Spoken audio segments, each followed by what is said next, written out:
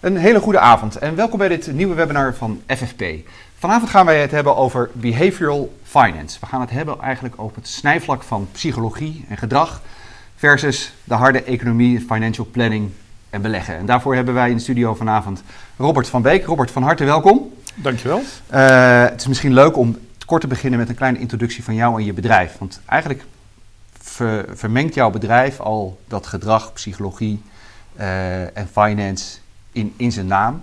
En dat combineer je dan eigenlijk met hè, wat, je, wat je bent, namelijk financial planner, coach, schrijver, auteur. Klopt. Uh, about life and finance. Nou, inderdaad. Dan heb je de drie pootjes al te pakken. Ja, kan je er about, iets over vertellen? Uh, about is inderdaad alles uitleggen, het publiceren op, uh, op artikelniveau, op, op boekniveau. Um, het geven van presentaties. Live, het stukje financial life planning, waar ik uh, nog steeds ook, uh, ook mee bezig ben.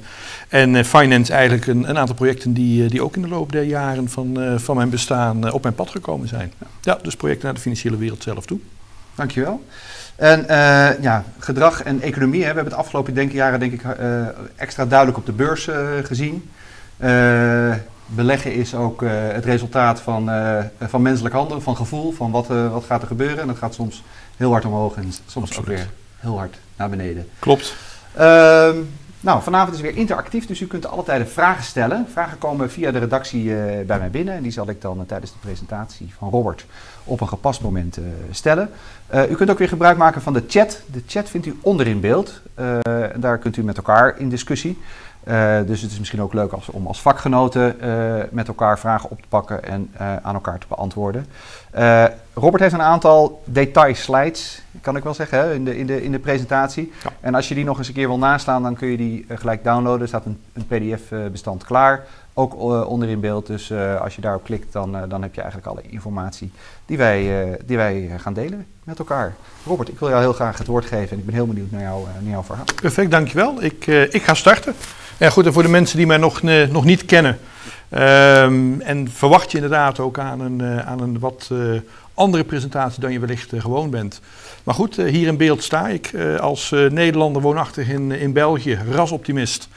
En ja, ik, ik, dat zul je ook wel merken vanavond. Ik, ik laat me graag inspireren door, door, door de Amerikaanse planner.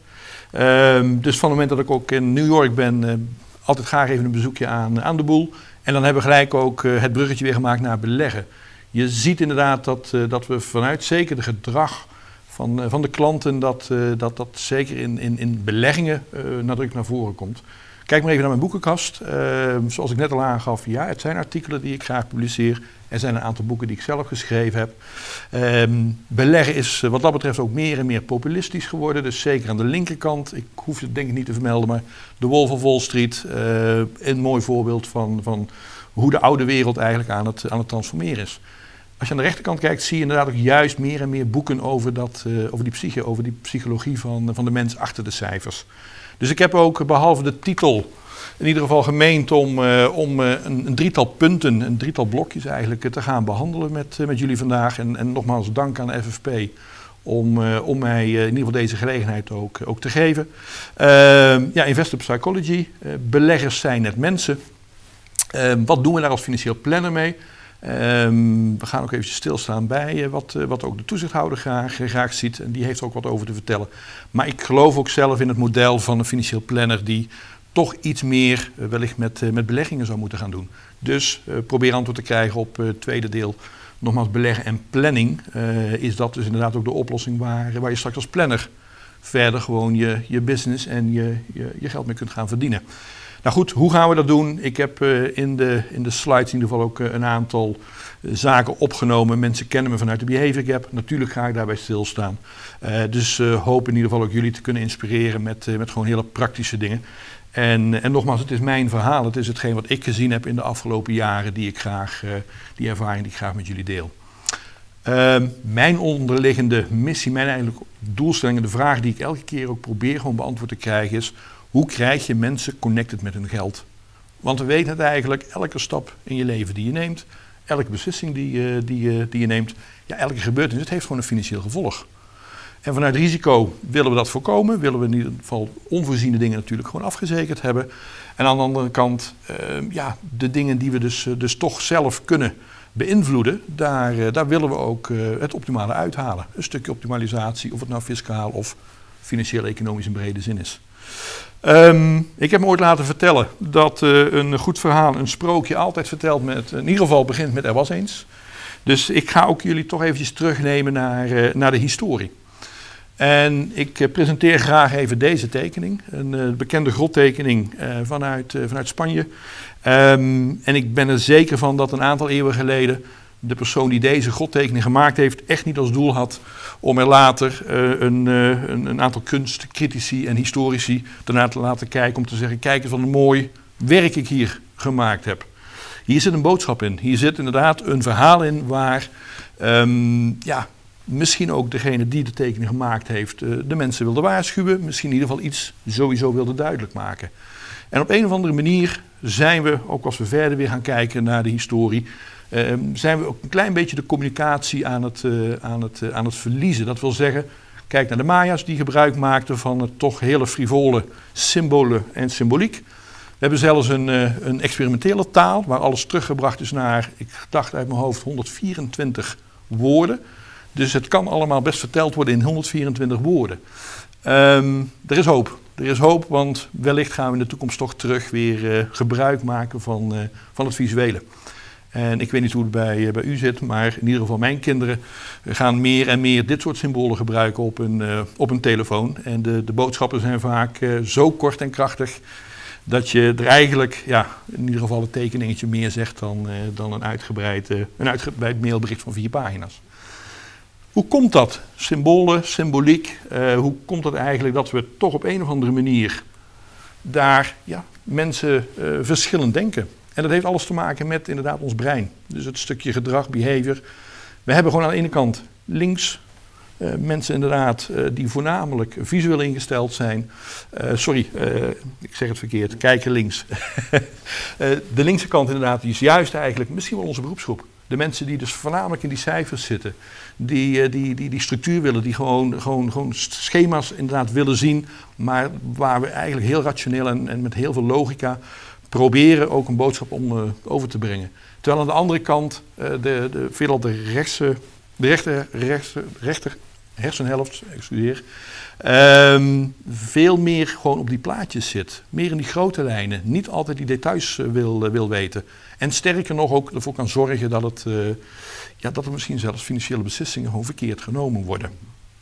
Nu goed, um, je ziet ook een linkje. Als je een keer uh, tijd hebt en, en, zin hebt. Ik heb een aantal jaar geleden ook voor uh, Mindjet een webinar mogen verzorgen. Waar, waar ik ook een aantal toepassingen die ik zelf ook in de praktijk gebruikt heb, heb mogen zien, gebruikmakend van, van die software. Dus ik nodig je graag uit om, om dat een keer te doen. Um, dus ja, verwacht je ook zo dadelijk gewoon weer aan, aan een aantal, misschien net iets andere manier van presenteren. De klassieke PowerPoint gaat, gaat de prullenbak in. Nog even rondom About Life and Finance, financiële planning. Ja, je ziet inderdaad geen financiële planning staan. Het, uh, ik, toen ik zes jaar geleden zelfstandig werd, dacht ik ook, hoe ga ik eigenlijk financiële planning een misschien abstract woord, wat mensen nog, nog niet zoveel zegt. Hoe ga ik dat eigenlijk eh, terugbrengen naar een aantal andere kernvragen? En voor mij is financiële planning eigenlijk antwoord proberen te vinden op wie ben ik, wat wil ik, wat heb ik en wat doe ik. En het vreemde is dat wij vanuit onze natuurlijke adviseursrol vaak vanuit die oplossingsgericht willen denken, heel vaak natuurlijk met dat financieel plan in die mode schieten van wat heb ik. We gaan een, een balans tekenen, we gaan een, een, plan maken, we willen overzicht uh, en inzicht creëren, wat op zich gewoon goed is. Die klant wil eigenlijk natuurlijk gewoon weten, vertel me gewoon wat ik moet doen. En ja, je ziet gelukkig ook een, een trend aan het ontstaan vanuit een stukje financial life planning, waarin men eigenlijk probeert te starten vanuit die mens. De start is de mens achter de cijfers, in plaats van uh, het, uh, het product. Nou goed, een trend die natuurlijk iedereen zeer zeker zal, zal herkennen. Kan je dat ook een beetje zien in uh, de manier waarop we naar uh, business planning kijken? Dat hadden we, hadden we het net eventjes uh, over. Ja. dat, je, dat je eigenlijk veel belangrijker is de why en de how in plaats van de what. Absoluut. terwijl financial planning, hè, dat heeft nog wel eens de neiging om alles uit te rekenen over de jaren heen. En wat minder stil te bestaan bij wat, wat is nou eigenlijk jouw levensstrategie? Precies, en, en het is inderdaad wat ze in de neem, wat voor woord plak je erop. Je ziet eenzelfde uh, tendens, heb je gezien ook bij, bij het stukje business planning. Dus op het moment dat je praat over een business model canvas, eigenlijk start nu als vanuit dat ene A3'tje waar we gewoon de belangrijke dingen onder elkaar zetten, om eerst dat inzicht te hebben. En dan gaan we naar het detailniveau toe om uit te werken, wat betekent dat nu in verschillende scenario's wellicht. Want dan gaan alle dingen gewoon goed. Ja, is het plan misschien een dag later al achterhaald? En sommige mensen, begrijp ook niet verkeerd, hebben gewoon nog steeds dat plan nodig. Hebben een moment nodig om het na te kunnen lezen. Willen toch nog eventjes de details weten. Want nogmaals, we zijn mensen, we zijn uniek. Um, en toch zie je dat we bepaalde karakteristieken ook met elkaar delen. Maar goed, daar kom ik zeker nog eventjes op, eh, op terug ook. Um, ja, even wederom die symboliek wat... Uh, tijdens een van mijn trips naar New York heb ik, heb ik in ieder geval deze foto ook genomen, waarvan ik ook denk dat het, uh, dat het ook mooi weergeeft wat, wat financiële planning kan, kan zijn. Um, even het wacht, let op. sta eventjes stil bij het handje. welke kant wil je op? Ja, er zijn misschien wel kanten op die je op geforceerd gaat, die je eigenlijk voorgeschreven worden, die je op moet gaan. Is het dan inderdaad die one way? Zijn er misschien meerdere wegen om hetzelfde resultaat te, uh, te, kunnen, uh, te kunnen halen? Om uiteindelijk die doelstellingen te kunnen bereiken. Ja, goed, en uh, voor de echte Amerikaanse liefhebbers natuurlijk, de sky is the limit. Dus, uh, dus we kunnen wat dat betreft ja, groeien tot, tot hele hoge hoogtes. Um, goed, ik, ik, ga je heel eventjes meenemen ook aan, in ieder geval naar, naar het stukje investor psychology, want er is wat dat betreft al heel veel onderzoek en wetenschap is er ook, is er, wetenschap onderzoek is er verricht. En ja, beleggers zijn, zijn net mensen. Um, wellicht ook dat, dat je het opgepikt hebt, maar ook de toezichthouder AFM is, is inmiddels dus ervan overtuigd dat er toch een aantal dingen nog iets beter kunnen. En, en, heeft zelfs een speciale unit op, opgericht waar ze juist vanuit gedragswetenschappelijk, vanuit een wetenschappelijk oogpunt, uh, specifiek gedrag gaan, uh, gaan proberen te meten. En uiteindelijk ook kunnen gaan, dat is een beetje de wens van de, van de AFM als je tussen de regels doorleest, dat men misschien zelfs met een, een, een, een, zacht duwtje in de goede richting een heleboel problemen probeert te, te voorkomen. Ehm, niet altijd de meest interessante stof om, om te lezen, de richtlijnen van de AFM. Maar zeer zeker wel de moeite waard als je ook uh, ziet dat, uh, dat we nu in ieder geval de AFM ook oog heeft voor, voor, dit, uh, voor dit onderwerp. Um, werd nogmaals ook bevestigd in, in november. In november heeft ook de AFM juist op het niveau van de cliëntprofilering het klassieke vragenlijstje, wat je invult op het moment dat een klant wil gaan beleggen, heeft men gezegd op basis van onderzoek van hé, hey, er is iets wat toch niet helemaal goed gaat volgens ons. En raar maar waar, het manifesteert zich juist op dat stukje emotie, op die emotionele kant. De klassieke idee, wat we dachten gevangen te hebben met slaapt u slecht van een, uh, een beurs die ineens naar beneden gaat. Men zegt nee, daar zien we echt wel dat daar uh, meer, moet gaan, uh, meer moet gaan gebeuren. En moeten we eens niet gaan kijken wat ook de wetenschap daar, daarover zegt. En dan zit je inderdaad op het domein van, van de behavioral finance. Dan zit je op die valkuilen. Dan ben je inderdaad eigenlijk al terechtgekomen bij de biases. Ja. En dan gaat het veel verder dan risicoprofiel. Absoluut, absoluut. Um, het is zo dat, dat we qua biases, qua valkuilen, dat we inmiddels toch wel weten dat er gewoon een aantal dingen zo nu en dan misgaan. Dat mensen gewoon blootgesteld worden aan, aan de ene kant misschien verleidingen, aan de andere kant ook dingen die men eigenlijk ook niet kan tegengaan. Dus ik denk ook dat we daar realistisch in moeten zijn. Je kunt het gedrag van mensen, uh, zeker als het gewoon in je DNA ingebakken zit, kun je ook niet altijd veranderen. Je kunt mensen wel een spiegeltje voorhouden. Je kunt wel inderdaad zeggen, maar wacht eventjes, voordat je nu die beslissing neemt, weet je het nog, je bent daar gevoelig voor. Ik heb hier een voorbeeldje meegenomen ook van, uh, van uh, in ieder geval de Financial DNA. Een, uh, een assessment techniek wat op basis van toch weer de vragenlijst gaat in ieder geval een profiel samenstellen. En, en, en daaruit kun je ook op, ja, eigenlijk in één oogopslag zien van of iemand ten opzichte ook van zijn, van zijn referentiegroep Um, ja, wat, wat mogelijk een, een, bias zou kunnen zijn, een valkuil waar die bloot aan staat. Um, heel praktisch, uh, als je bijvoorbeeld kijkt naar een van de, van de elementen die ook naar voren komt. Uh, ik noem maar eventjes kuddegedrag. Mm -hmm. Het advies van de schoonbroer, uh, de persoon op de golfbaan, de goede vriend. en, en ja, als je overal hoort dat je iets moet doen, dan moet je al stevig in je schoenen staan. Wil je iets dan toch misschien niet doen, omdat het uiteindelijk toch niet past bij jou. En dat is ja, het kuddegedrag, die uh, een van de, van, ik denk, ja, iedereen wel herkenbare uh, biases. Ja. Heb je nog een paar van dat? Dat is wel een leuke.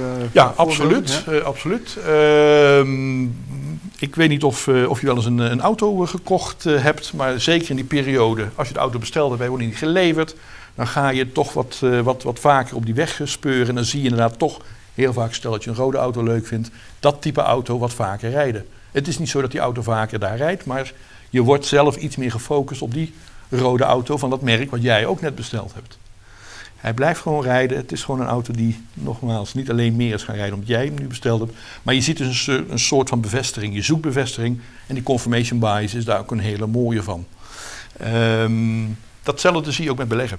Dus van het moment dat mensen bevestiging eigenlijk zoeken van het idee, de strategie die men wil gaan volgen, gaat internet op. En, en, en ik noem maar even een voorbeeld.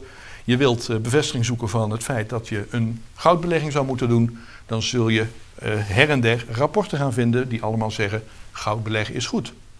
En zelfs ons brein wordt zo selectief dat we de rapporten die iets anders zeggen, dat we dan toch het gevoel hebben van ja, maar dat zal wel een ander, geen goed onderzoeksrapport zijn, dat zal wel, nee, ik, ja, ik ga dus inderdaad focussen, nogmaals, ik zoek die bevestiging, een confirmation bias.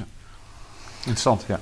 Absoluut. Uh, nou goed, wetende dat er dus een heleboel van dit soort uh, biases inderdaad ook, uh, ook zijn, Um, ik refereer heel eventjes naar de volgende slide ook naar een, een, mooie matrix die, uh, die wellicht ook jullie al eerder gezien hebben. Aangezien een, een Belgische professor op het, in ieder geval het congres, het jubileumcongres van de FFP ook, ook hier al naar gerefereerd heeft. Van het moment dat je weet dat er verschillende profielen zijn en je gaat dus ook die profielen misschien dan toch op een of andere manier kenmerken. Mensen in een, ja, het klinkt een beetje verkeerder dan ik het uh, bedoel, maar in een hokje stoppen. Dan kun je ook gaan kijken in hoeverre dat je daar toch op een andere manier die mensen bijvoorbeeld van advies kunt gaan voorzien. Nou, en Pompidou heeft daar ook vanuit zijn wetenschappelijke uh, onderzoeken heeft daar een, een invulling aan gegeven. Dit zijn, ja, dit, zijn, vier typen hè, die je dan ja, ziet. Ja. absoluut. Dus, dus die dan bepaalde gedragstypische kenmerken ook, ook hebben. En misschien een, een, een, een mooi voorbeeld is ook uh, om, om, om, om te, te benadrukken. Um, als je nu inderdaad weet dat iemand uh, toch uh, gevoelig is voor, voor, voor dat stukje confirmation. En hij heeft al een heleboel gezien. Dan heb je een volgende stap die er ook dichtbij aan verbonden zit. Is eigenlijk ehm, is de bias van misschien de overconfidence. Ik heb een heleboel gezien, ik heb een heleboel meegemaakt. Ik weet hoe het werkt. En juist die overconfidence. Dus ik, ik voel mezelf wel heel erg vertrouwd met die materie. Kan ook een valkuil zijn om toch die verkeerde beslissing te nemen. Nu, hoe ga je daar inderdaad mee om? Hoe ga je met zo iemand om die eigenlijk, eh, ondanks het feit dat je vraagt en denkt van ik heb toch al twee keer gevraagd, snap je het? Mm -hmm. Maar vanuit zijn overconfidence zal hij zeker nooit of zij zeker nooit zeggen nee, ik snap het niet. Ja. Hij zal eerder gewoon zeggen ja, ik snap het. En de tweede keer zelfs misschien een beetje geïrriteerd zeggen. Ja, maar je hoeft niet nog een keer te vragen. Ik snap het. En dat zou eigenlijk een signaal moeten zijn waarin je in je advies ook denkt van, maar wacht even, heeft deze persoon misschien, ja, ik zou het wel willen weten, last van die overconfidence ja. bias.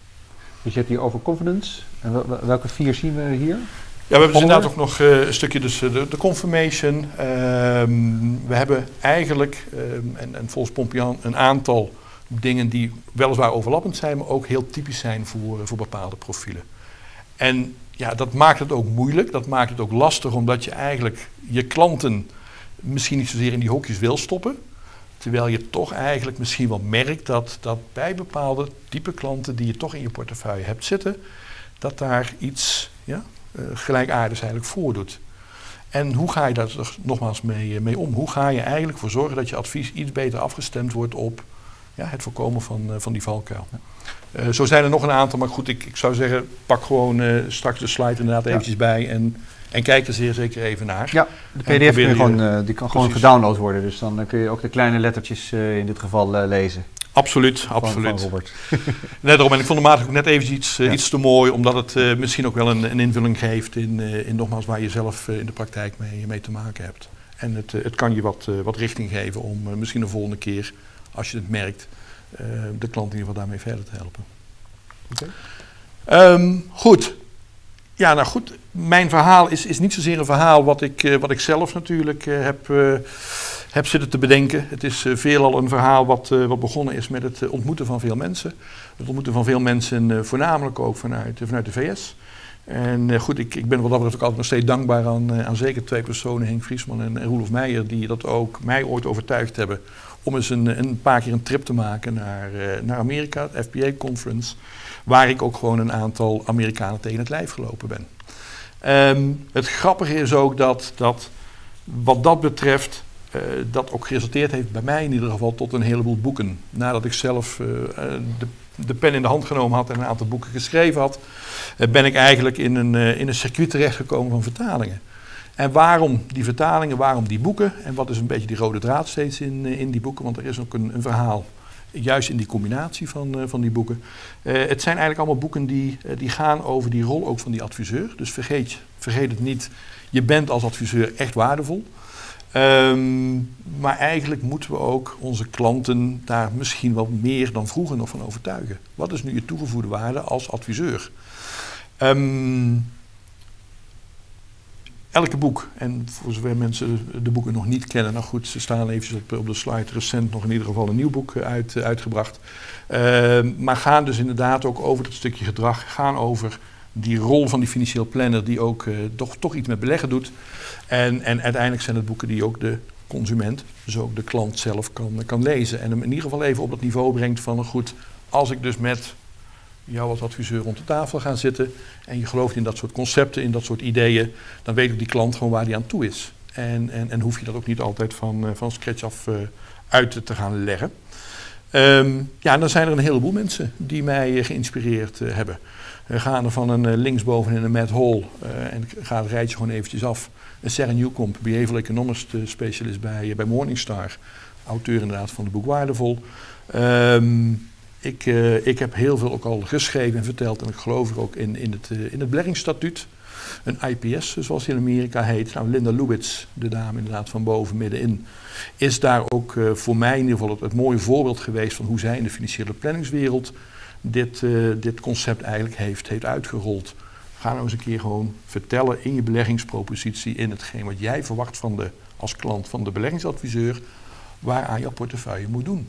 Eigenlijk wordt het verhaal omgedraaid. Het is niet zozeer het brengen van dit is mijn oplossing als uh, beleggingsonderneming en beste klant. Uh, ik denk inderdaad dat het voor jou ook een goede oplossing is. Nee, is luisteren naar de klant. Wat wil de klant en wat wil de klant juist niet? Uh, Marty Kurtz, um, Sudden Money, de dame inderdaad rechts, rechtsbovenin.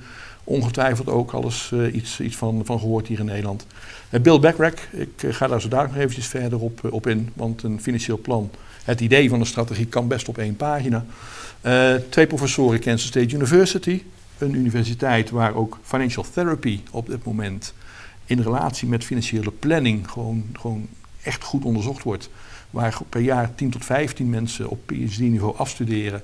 En die allemaal dus gaan over die financiële beslissingen in het kader van een financieel plan. Dan heb je het over financial therapy? Financial therapy inderdaad. Dus uh, iets wat we hier nog niet, uh, nog niet eigenlijk kennen. Hè. Dus, uh, dus, dus ja, de psycholoog klinkt wat zwaarder ja. dan, uh, dan het is. Maar inderdaad van de psychologische kant gewoon eens kijken naar een financieel vraagstuk. Naar die persoon, wie ben ik? En wat gebeurt er inderdaad allemaal in mijn, uh, in mijn leven? Uh, wat gaat er goed, wat gaat er niet goed? En, en dat vanuit toch misschien een wat meer therapeutische kant ja. bekeken. Ja.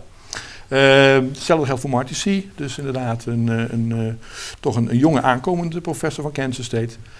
mensen die Michael Kitchens nog niet kennen.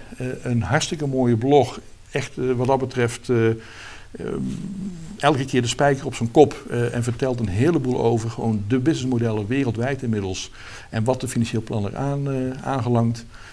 dus Kitjes is wat dat betreft een, een, hele leuke om gewoon eens te zien van, van goed, ik sta nu vandaag hier met mijn praktijk en wat gebeurt er allemaal van robo-advice tot nogmaals alle problemen die, die op ons pad komen in onze, in onze eigen business ligt hij altijd uh, gewoon heel erg, uh, heel erg uitgebreid uh, toe. Hugh Messi, ik liet net al Financial DNA zien. George Kinder zijn zeker gewoon bekende Amerikanen. en in het geval van Hugh van origine Australiër. die op het domein van life planning natuurlijk al het nodige betekend hebben. Dus een heleboel financieel planners hebben wellicht al wat langere of wat kortere cursussen, masterclasses bij, bij hem gevolgd. Misschien wat meer onbekend is, is Carol Anderson, Money Quotient zeer zeker ook heel erg leuk vanuit datzelfde idee van die mens, vanuit dat financial life planning, uh, met hele concrete technieken die, die, die zij gewoon als concept ook, ook uitgewerkt heeft. En gewoon echt praktisch toepasbaar in je praktijk. Chris Butt, ehm, iemand uit de UK, een planner Waar, nou goed, begin dit jaar ook op het PFP-forum nog de beste man ook zijn verhaal heeft, heeft verteld. En, en last but not least Larry Swedro. En Larry Swedro, nou goed, daar ga je nog meer over horen. daar ga ik in ieder geval ook niet te veel op dit moment bij vertellen. Maar dit zijn voor mij gewoon in ieder geval een aantal ja, lichtende voorbeelden. Mensen die allemaal toch bezig zijn met die, met die positie van die financieel planner. Mm -hmm. Waar staat hij vandaag de dag en waar gaat hij met zijn praktijk naartoe? En ja, het is veelal Amerikaans geïnspireerd, dus beleggen en financiële planning zijn onlosmakelijk verbonden. Um, en dan de goede kijker in ieder geval zal denken, maar hé, hey, Robert heeft Carl Richards nog niet vermeld. Natuurlijk kon ik niet, uh, niet zonder Carl Richards mijn verhaal ook vanavond vertellen. Dus ehm, de bekende sketches. En ik ga toch iedereen nog eens eventjes meenemen ook in een, in een aantal sketches. Ik heb een selectie gemaakt om, om daar toch eens eventjes met, met elkaar doorheen te lopen. Om de boodschap die we hebben, om die toch op een andere manier te kunnen gaan communiceren. Gebruik maken van wat, van wat tekeningen. Dus de behavior gap, daar is het eigenlijk allemaal mee begonnen. Ook mijn Amerikaans avontuur. Um, hoe komt het dat wij eigenlijk, als we als klant kijken naar onze portefeuille, dat we een veel lager rendement vaak zien dan hetgeen wat in de sector aan ons voorgespiegeld wordt? Als we reclameblaadjes zien, als we uh, rendementen dus, uh, dus zien, dan, dan, dan zit daar een, een, gat, een gap tussen.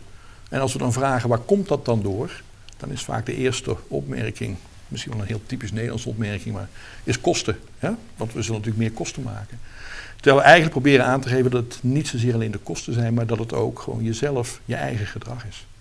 En daarom ook de behavior gap. En ik, ik zeg ook altijd op elke presentatie, ik heb ook nog nooit een, een mooie vertaling ervoor gevonden. Dus ik heb ook wat de behavior gap ook gelaten. Klein detail, eh, op zijn Amerikaans, dus met een O geschreven. En niet met een OU. Dat is de Engelse spelling zoals we in de titel ook, uh, ook hadden. Uh, maar de behavior gap, dus ons gedrag, bepaalt inderdaad ook in grote mate uiteindelijk het resultaat van onze beleggingen.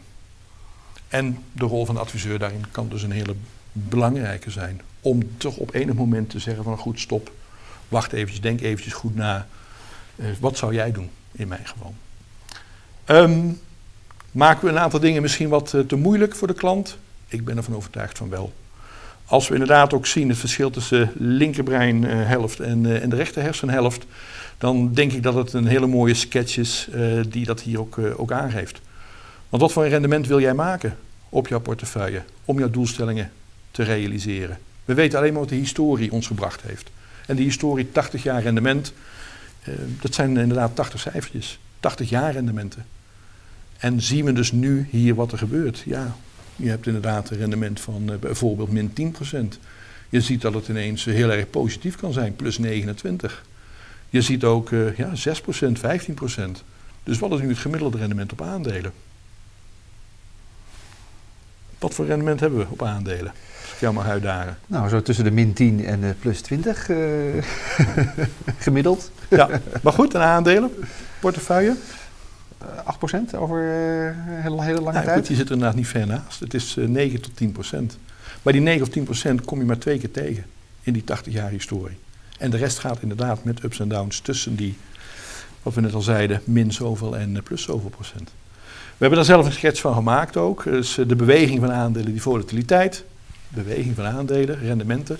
En je ziet dat aandelen, zelfs met hetzelfde plaatje, ja, een heel, zoals we dat dan technisch noemen, volatiel verloop kennen. Veel uitschieters, zowel boven als beneden.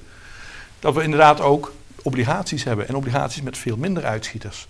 En zelfs sparen waar je, ja goed, vandaag de dag natuurlijk uh, uh, wat uh, bijna geen rendement meer maakt, maar waar dat, die uitschieters ook een stuk minder zijn. Dus als we het hebben over risico en we gaan praten over die standaarddeviatie, over die volatiliteit, of eigenlijk over de uitschieters, de beweging plus of min, ja goed, wees maar zeker dat klanten uh, eerder inderdaad de termen en zullen begrijpen op het moment dat het plaatje zien, dan, uh, dan als je gaat praten over abstracte standaarddeviaties en, uh, en, en volatiliteit. Um, ja goed, dat is een uitdaging. Want wij, voor ons is het gewoon gebakken, gebakken kost, gebakken materie, of hoe ik het ook wil, wil noemen. Uh, dagelijkse kost, moet ik het inderdaad zeggen. Ehm, terwijl we ja, toch wel een gat gecreëerd hebben met, met onze klanten. Nog heel eventjes een, een leuke anekdote in het, in het geheel, maar spreiding, diversificatie. Niet al je eieren in één mandje leggen. Over het algemeen in de economische uh, wereld is het zo dat als het in de aandelen slecht gaat, dan gaat het in de obligaties vaak wat beter en vice versa. Dus van het moment dat je gaat spreiden tussen verschillende categorieën, verschillende beleggingssoorten, ja, dan, goed, dan ben je eigenlijk al aan het spreiden. Nu, uh, ik weet niet hoe het bij jullie is, maar ik, uh, we mogen ook wat meer trots zijn, denk ik, op ons, op ons, op ons vak. Maar goed, toen mijn, mijn zoontje gevraagd werd door een schoolvriendje van wat, wat doet je papa? Dan kwam er vaak niet meer uit dan, ja goed, mijn papa is, doet iets in de financiële wereld. Hij schrijft wat boeken. Maar het was dan niet echt het meest sexy beroep wat, waar in ieder geval mijn zoon graag mee uitpakte. Ja, tot het moment dat, dat een schoolvriendje inderdaad kwam, kwam spelen.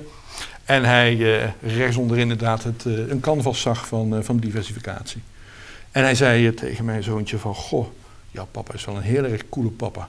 Want jouw papa heeft een, uh, een kunstwerk van een Playstation. Nu goed, sindsdien ben ik inderdaad natuurlijk een, uh, een hele coole papa. Uh, met andere woorden, ja, de sketches zijn inmiddels niet alleen maar in de New York Times als sketches in een wekelijkse column te vinden, maar zijn dus ook kunstwerken geworden. En ik vraag mezelf nog steeds uh, vandaag de dag af of uh, de beste man aan de linkse kant nu echt een PlayStation-liefhebber is. Of dat hij denkt bij zichzelf, net als zijn collega's, van nou goed, hebben wij nu hier in de London Stock Exchange allemaal voorzetwandjes zitten te bouwen voor dit soort aan uh, sketches en, en, en canvassen. Um, nogmaals, het geeft maar inderdaad aan hoe, hoe de tekeningetjes een, een hele leuke vlucht hebben, hebben genomen. Tweede stukje, financiële planning. En, en ja, goed, het proces van financiële planning.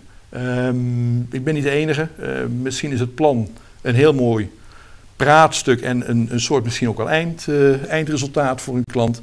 Maar ik geloof zelf in het, uh, in het proces. Het proces is denk ik een stukje belangrijker dan, dan hetgeen wat opgeleverd wordt. Dat wil zeggen dat, dat ja, we hebben het over de financiële doelstellingen van de klant. We proberen die op, op allerlei mogelijke manieren boven water te krijgen. We gaan dus eigenlijk toch iets van een plan produceren. We starten vanuit een, eh, een A4'tje. Ik ga het zo dadelijk ook gewoon eventjes live, eh, live voor jullie doen. Uh, we zoeken daar inderdaad de beleggingen bij. En waarom ook weer expliciet die beleggingen?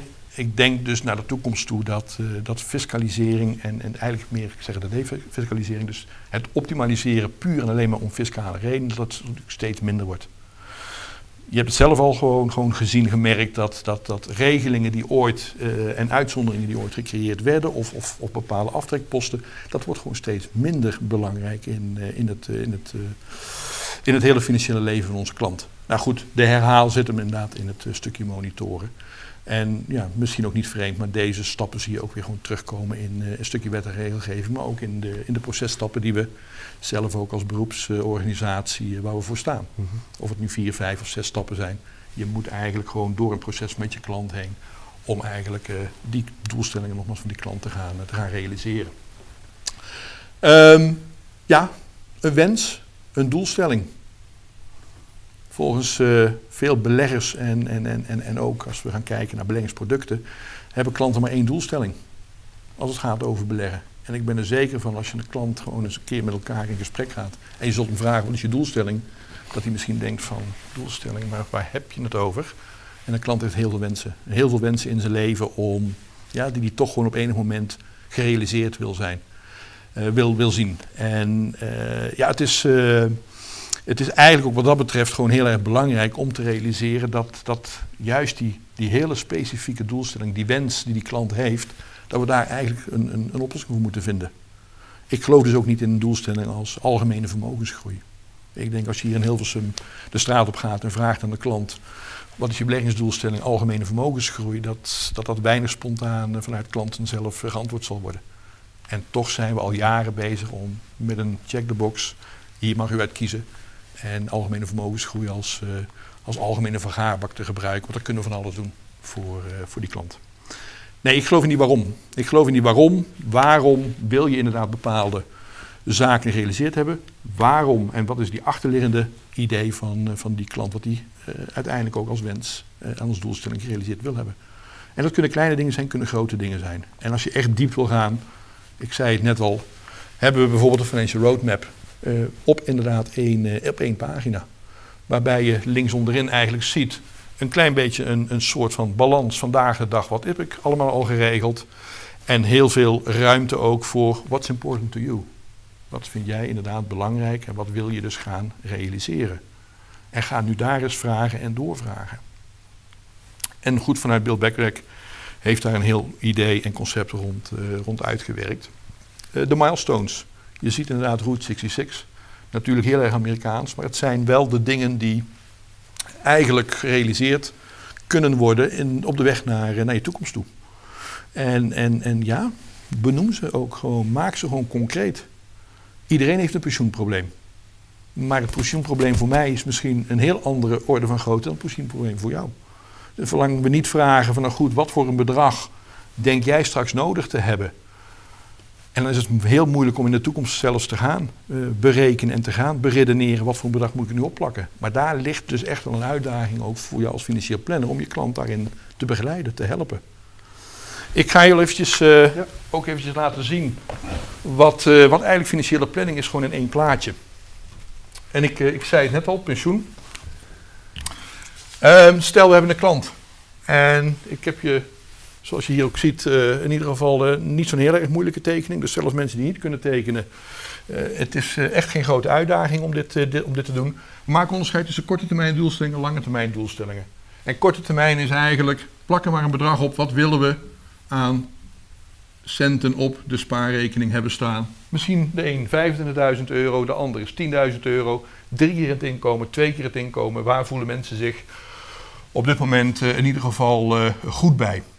Dan hebben we ook, stel dat we een persoon hebben van 35 jaar, die heeft uh, naar de horizon toe, naar de toekomst toe, um, ja, in ieder geval een hele duidelijke doelstelling. Een hele duidelijke doelstelling, dat wil zeggen, klassiek, op 65 gingen we allemaal met pensioen.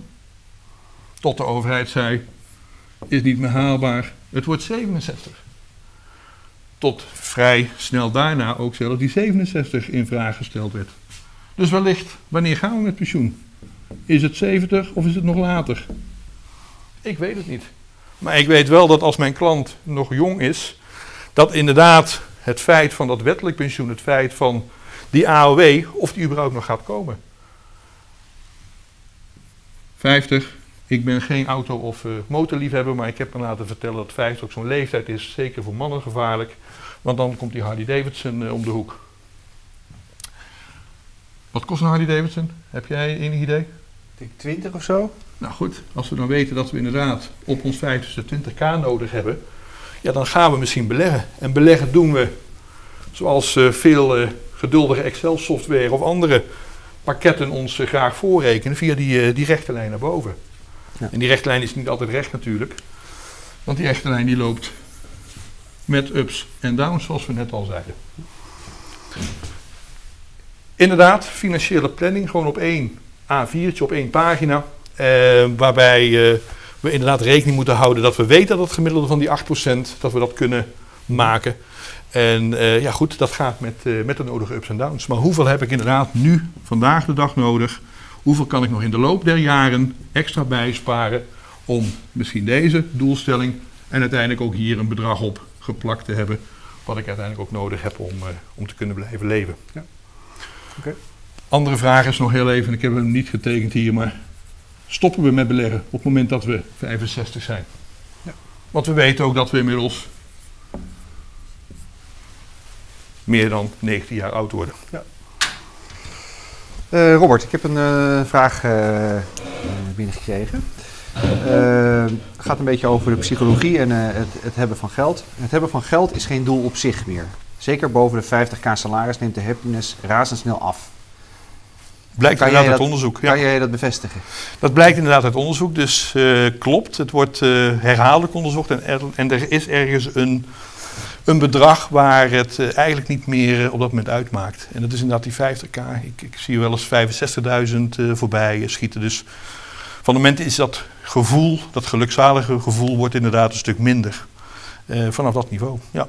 Dus als je de basis op orde hebt, dan uh, heb je gewoon ruimte om... Zou dat inderdaad betekenen, precies, dat je daarna dus, uh, dus toch uh, ja, misschien op een iets andere manier kijkt naar, naar dat geld. En een hele belangrijke sprong blijkbaar voor mensen om dan toch dat inkomen te kunnen realiseren. Nou. Okay. Goed, eventjes terugpakkend nog op, op het stukje values-based financial planning. Dan zie je ook hier weer die, datzelfde proces terugkomen. Je ziet inderdaad dat je gewoon een goed gesprek moet hebben met, uh, met je klant over wat is nu belangrijk voor die klant. Ja, teken het inderdaad ook gewoon uit, maak het gewoon visueel. En vanzelf gaan uh, wellicht de ideeën ook ontstaan. Ik denk dat het ook heel herkenbaar is dat je met een klant, als je hebt over een financieel planningsgesprek, waar kan de klant zich aan verwachten, dat die vaak dat gesprek misschien ook wel gewoon bij jou komt voeren en dan denkt van, oh ja, een uur voor het gesprek waarschijnlijk die auto in, oh, waar gaan we het zo dadelijk over hebben? Dus vaak na het eerste gesprek pas gaan klanten denken. En gaan klanten inderdaad misschien enigszins voorbereid of thuis weer terug op de bank gaan denken van... Goh, die planner die heeft me toch eventjes wat aan het denken gezet. Wat zijn nu echt de dingen die we de eerstkomende jaren willen gaan, gaan realiseren? Um, nou goed, dan ga je dat inderdaad uitwerken. Gebruik daar ja, een methodiek bij. Of, of in ieder geval op een of andere manier probeer die doelstelling ook gewoon zo concreet mogelijk eh, te maken. En dan gaan we dat proces in van hoe staan mensen er financieel voor. Maken we een balans. En ik hoef hem nu ook niet uit te tekenen, maar Ondernemers kennen me zeer zeker. Het teetje. Ja, wat zijn aan de ene kant de bezittingen, aan de andere kant uh, de eventuele verplichtingen die we, die we hebben. En dan heb je al vrij snel in beeld of uh, mensen met box 1 tot en met box 3, wat je aan de, aan de linkerkant van de balans schrijft aan je bezittingen, uh, wat, er, wat er eigenlijk allemaal is. En ja. wat er wellicht ook met elkaar geoptimaliseerd moet, moet gaan worden. Gebruik je de financial roadmap, gebruik je een andere manier om eigenlijk dat toekomstbeeld te gaan, te gaan schetsen voor de klant. Maak je inderdaad scenario's. En, en we doen natuurlijk al heel veel op dat gebied van inzicht. We zien ook dat softwarebedrijven zich aan het, uh, aan het, uh, aan het aanpassen zijn. Dat er gewoon andere rapportages uit, uh, uit de software kan, kan komen. Dus we zijn al wel stappen aan het maken in die, in die goede richting, absoluut. Um, ja, en dan de rol, de klant. Wat verwacht de klant van je? Is de klant een doe-het-zelf? Dus ook in dit boek, ook in deze methodiek, wordt eigenlijk de klant geconfronteerd met het idee van... Goed, wil je het zelf doen? En eigenlijk Klinkt heel Amerikaans en misschien heel erg bot. Maar de vraag is ook of je heel veel energie en moeite moet steken in een klant die eigenlijk alles zelf wil doen. Want op wat voor een manier ben jij dan die adviseur? Ben je een adviseur die die klant eigenlijk volledig vertrouwt en die ook gewoon luistert en ook opvolgt hetgeen je als advies hebt neergegeven, neergeschreven? Of gaat hij gewoon toch zijn eigen weg doen? De vraag is nogmaals, ja, hoe je zelf daar ook mee, mee om. En misschien wil je van een aantal klanten, heb je wel gaande het, uh, de relatie, het idee dat die klant is eigenlijk helemaal geen klant die mij, die mij volgt. En hoeveel tijd en energie wil ik er überhaupt nog, nog insteken? Nou goed, gesprekken voeren met, met mogelijke adviseurs. Dus nogmaals, ja, jij bent zelf denk ik als financieel planner de uitgewezen, in ieder geval de, de uitgewezen persoon om om die spin in het web te zijn. Die financieel planner die misschien 80, 75, 85 procent van alles weet, die het wel kan kaderen, maar op enig moment ook beroep gaat doen op een specialist. Een specialist in jouw netwerk die net even iets beter in die materie thuis is, of het nu de notaris is of het de fiscalist is, ja, die net even dat extraatje weet waar jij zelf misschien net iets te generalistisch bent. Ik denk inderdaad ook een van de modellen waar we naar de toekomst toe uh, ja, meer en meer zullen gaan zien dat dat, uh, dat dat ook gewoon hele goede werkbare businessmodellen zijn. Um, ja goed, en wat zou er dan mooi zijn dat jij natuurlijk elke keer bij die gesprekken ook mee aan tafel mag zitten. Om toch die regie eigenlijk in, uh, in jouw hand uh, te mogen ja. houden. En eigenlijk voor die klant zijn, ja, zijn tweede paar ogen bent. nou goed, werken met checklists en, en, en uiteindelijk ook, ja, wat zijn, wat zijn de dingen die, die vandaag we nu met elkaar benoemen, om inderdaad morgen te gaan uitvoeren. Want het is mooi om hele dikke rapporten met adviezen te schrijven, maar als ze niet opgevolgd worden, ja, er zijn andere leukere vrije tijdsbestedingen dan, uh, dan dit soort dingetjes natuurlijk te doen. Goed, dus nogmaals het proces. Ik geloof dus inderdaad in het, in het proces. Ik zie inderdaad dat we mooi op tijd uh, zitten. Uh, ik wil nog heel even stilstaan met toch even nog wat dieper ingaan op dat stukje beleggingsadvies. En het, is, het lijkt wel een wereld, financieel planner versus de beleggingswereld waar we in, in, in verzeild geraakt zijn. De beleggingsadviseur, vermogensbeheerder, die noodgedwongen wellicht door, uh, door de AFM ook ingefluisterd wordt nu van maar luister, als het probleem toch iets complexer is, gebruik nou eens de skills, de vaardigheden van die financieel planner. En aan de andere kant zie ik nog steeds financieel planners die ook worstelen met, ik heb nu dat plan geschreven, Maar nu, hoe gaat het nu verder? Hoe moet ik dan inderdaad iets gaan praten, iets gaan vertellen over dat complexe beleggen, dat, dat, dat toch aparte wereldje van die beleggers, die beleggingsadviseurs? Ik denk inderdaad dat ook daar de verbindende factor juist dat stukje gedrag kan zijn. Het feit van dat jij toch als financieel planner heel veel weet van die klant, is hele waardevolle informatie ook voor die beleggingsadviseur om meer verder in zijn portefeuille, in zijn inrichting van zijn portefeuille, daarop verder een oplossing te vinden. Dus die wisselswerking is, is denk ik heel erg belangrijk. En samen kom je denk ik tot een betere oplossing dan, uh, dan, dan dat alleen uh, te doen.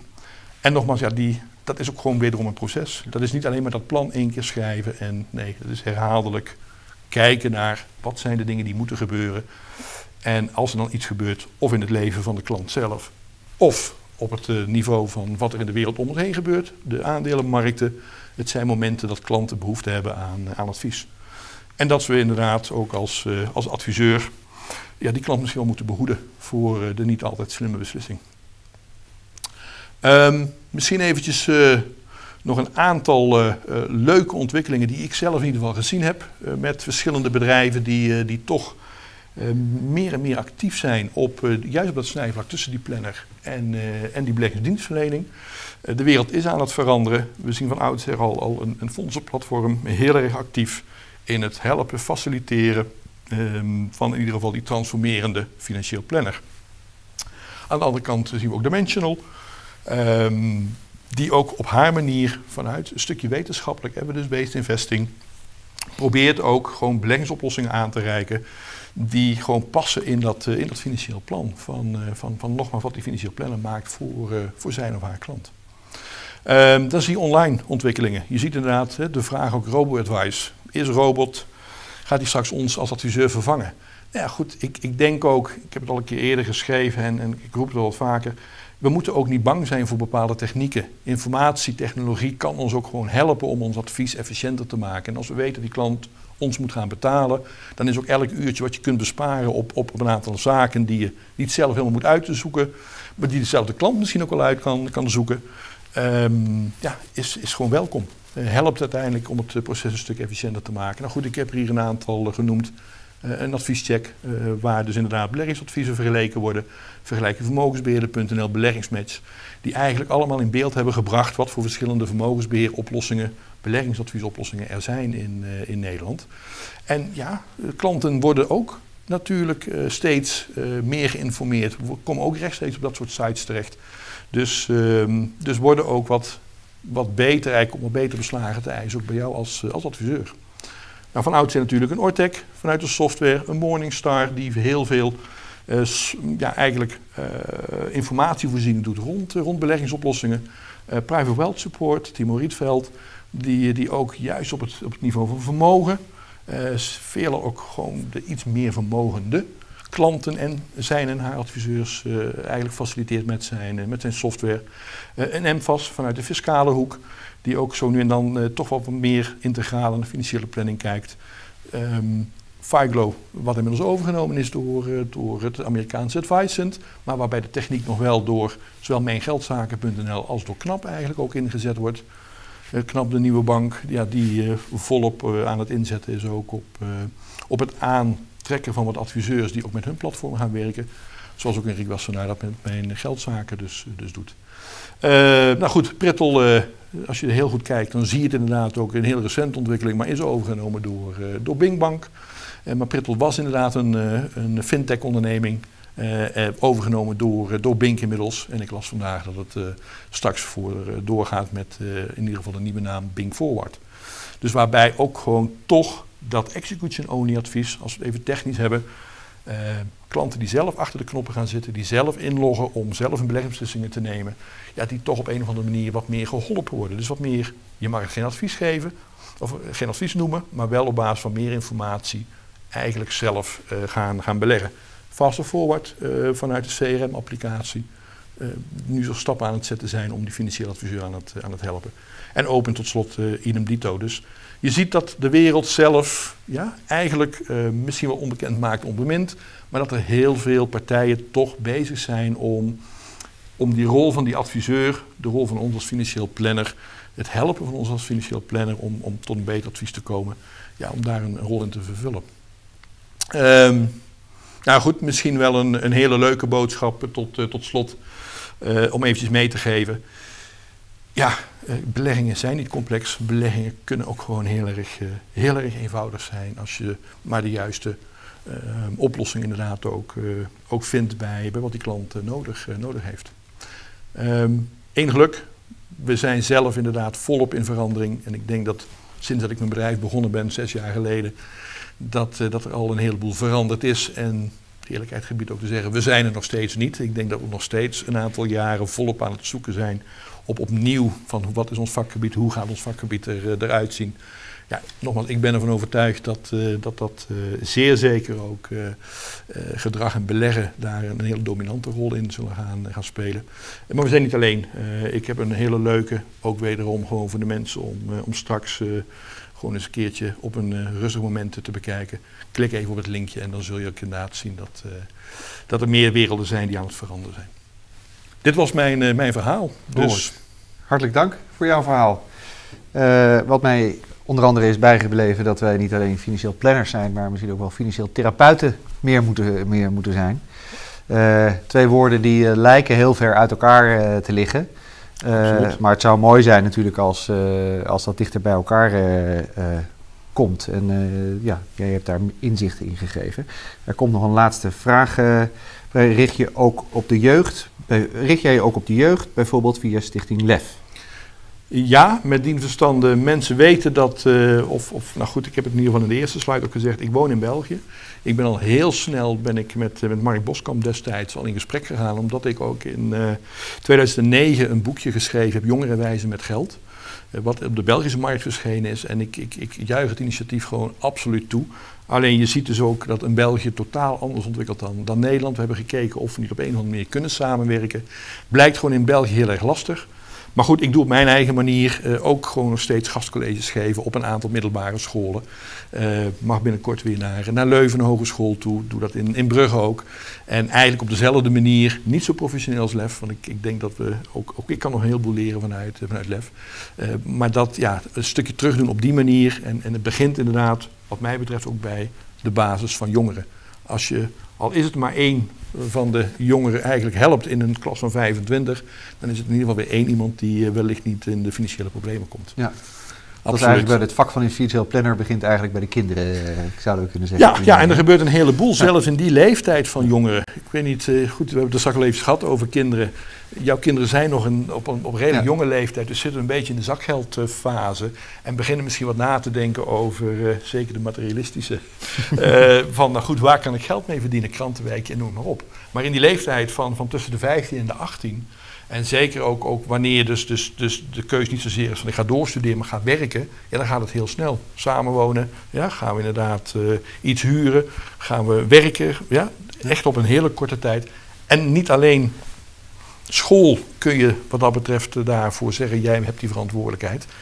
Uh, als mensen, ouders het zelf ook niet goed onder de knie hebben of niet weten hoe ermee om moeten gaan, ja, dan zit je dus inderdaad in een heel erg grote, ja, misschien alweer een gap die, ja. die ingevuld moet uh, en mag worden. Absoluut. Hartelijk dank voor jouw uh, verhaal en jouw komst naar de, naar de studio. En ik wil alle kijkers natuurlijk uh, van harte bedanken voor, uh, voor het bijwonen van dit webinar en de, en, en de, en de vragen. wil je dit webinar terugzien, dan kan dat weer via mijn FFP en binnenkort ook via het YouTube-kanaal. En voor een volgend webinar en volgende activiteiten van de FFP kun je uiteraard het ledennieuws en de agenda in de gaten houden. Hopelijk tot de volgende keer en hartelijk dank voor het kijken. Dankjewel.